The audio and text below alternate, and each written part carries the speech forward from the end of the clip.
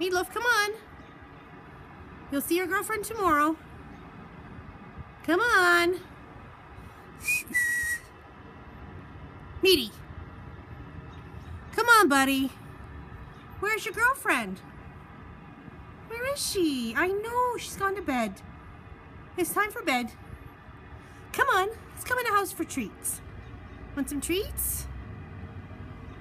Come in the house? I know, she's gone. I'll see you tomorrow. Yeah, we'll see you tomorrow. Come on. Let's go. Come on, let's get in the house for treats. Want some treats? I know, she's gone, buddy. You'll see her in the morning. You'll see her in the morning. I know, buddy. You miss her? Do you love her? Yeah. No. You leave her alone. Come on. They're not going to answer the door.